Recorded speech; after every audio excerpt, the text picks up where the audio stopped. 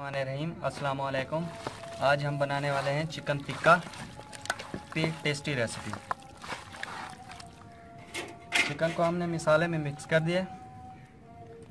अब इसे सीख पर उतार लें।